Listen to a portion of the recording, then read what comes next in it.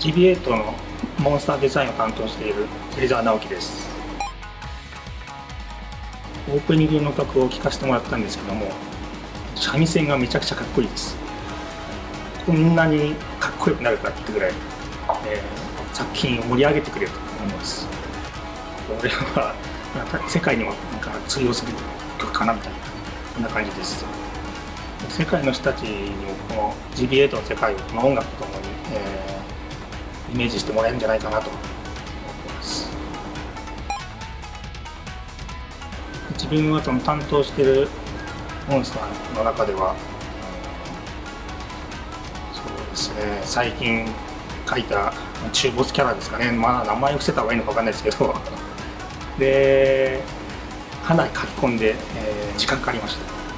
これがどう動くのかちょっと楽しみです。今から。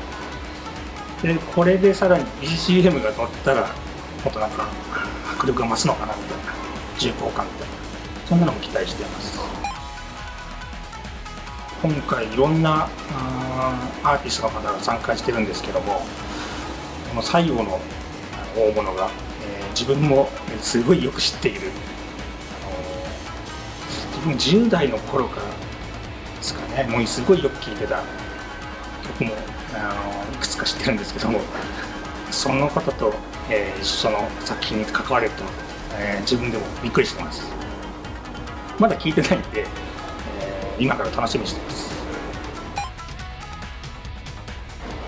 来週の動画コメント作中の BGM を担当してくださっている小城さんです。楽しみに待っててください。